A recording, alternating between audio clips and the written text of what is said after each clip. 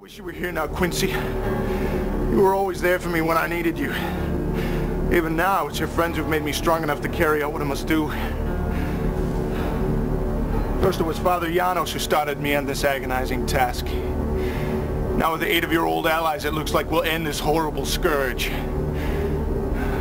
So much has happened these past few days. Mr. Alexander Morris. Thank you. Alexander.